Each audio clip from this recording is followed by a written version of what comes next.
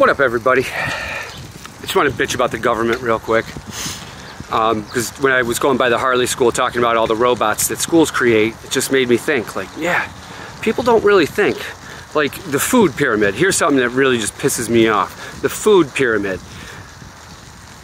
Eat almost all of your calories from fucking bread and pasta.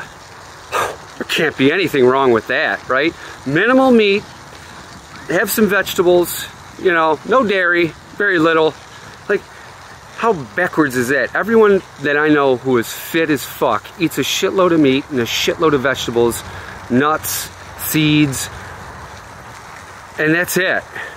There's no, there's no bread. It, it's just, but people, oh, that's what the government says.